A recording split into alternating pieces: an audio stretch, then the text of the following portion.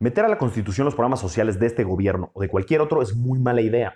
Para empezar, no hay suficiente evidencia de que los programas actuales están dando resultados. Como ha mencionado la doctora Viridiana Ríos, Jóvenes Construyendo el Futuro, el programa de becarios en empresas muy probablemente está provocando deserción escolar, ya que ofrece más dinero que las becas dadas para seguir estudiando. Asimismo, Rodolfo de la Torre del Centro de Estudios Espinosa Iglesias ha dicho que las políticas sociales concretas no van en la Constitución ya que éstas requieren ser evaluadas y rediseñadas continuamente y no inmovilizadas en la Carta Magna. Por ejemplo, si en un futuro encontramos un mejor esquema de pensiones para adultos mayores, no podríamos aplicarlo sin antes reformar la Constitución. Y si no tenemos los votos suficientes, el texto se quedaría igual y la política social de este país quedaría estancada en el pasado.